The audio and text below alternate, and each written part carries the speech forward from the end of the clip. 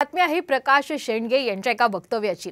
वंचितचा पक्ष वंचितांसाठी आहे की धनदांडग्यांसाठी अशी टीका ओबीसी नेते प्रकाश शेंडगे यांनी केलेली आहे. धनदांडगे प्रतीक पाटील भेटले आणि सांगलीमध्ये विशाल पाटलांना पाठिंबा दिल्याचंही शेंडगे यांनी म्हटलेलं आहे. सुप्रिया सुळेंना दिलेल्या पाठिंब्यावरून सुद्धा त्यांनी टीकास्त्र डागलंय. तर आनंदराज आंबेडकर यांनी सांगलीमध्ये पाठिंबा दिल्याची माहिती प्रकाश शेंडगे यांनी यावेळी व्यक्त केली आहे.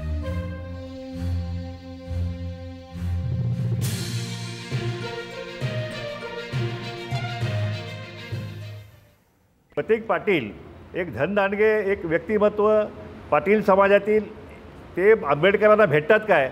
आणि एका तासात असं काय घडतं की त्यांना त्यांना पाठिंबा देण्याची वेळ त्यांच्यावरती येते? आणि त्याचप्रमाणे पवारसाहेबांच्यावरती पवारसाहेबसारख्या धनदांडग्या माणसाच्या कन्या ज्या आहेत त्या कश कशा वंचित असू शकतात? विशाल पाटील हे वंचित कशा असू शकतात?